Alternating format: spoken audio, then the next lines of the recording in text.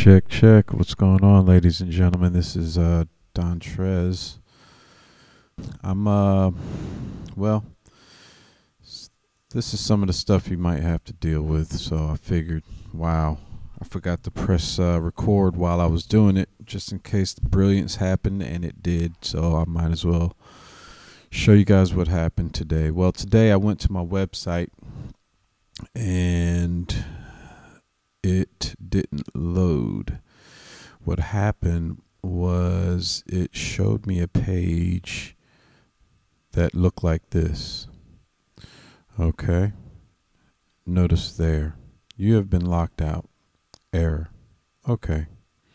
So I'll call up my peeps up at um up at the uh, hosting service up at uh, HostGator and they said, uh, "Let me see what's going on." And they had uh, something in their system that looked like uh, Better WP or something. I don't know.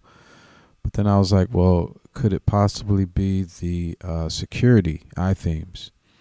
So what uh, what I did was I went to security, looked at it, you know, looked at the logs and the guy asked me, he was like, How long has this been like that? I was like, I don't even know, man. I looked at it. And as you can see, six days ago, something happened here. And, you know, I don't know. It looked like something changed or something. So I went up and I went to the plugins. I was like, All right, well, let me see what's up.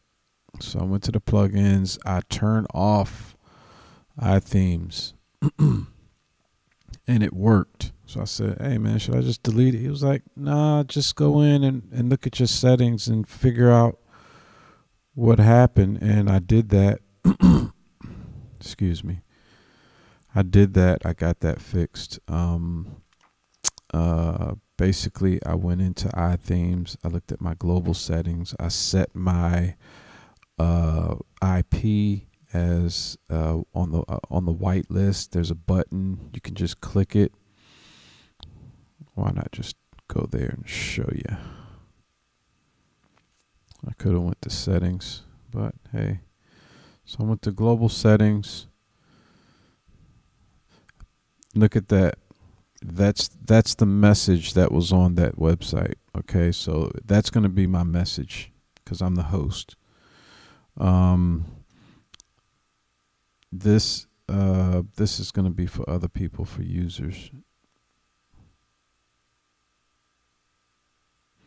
Okay, and if you go down, you can just put, you can just press this button right here, uh, add my current IP to the whitelist, and then it will, uh, it will add it to the white. I thought I had done that already. It could have been un undone or changed or something. I think because I went and did that to all my websites. I believe. Again, name is Dontrez. If you found this information helpful, uh, please like the uh, thing and uh, share it with somebody else who uh, in the future might have the same problem. And hey, I'm gonna have more stuff uh, to put on here. Just thought this might be helpful. It's Dontrez. Just uh, signing out. Thanks again. Later.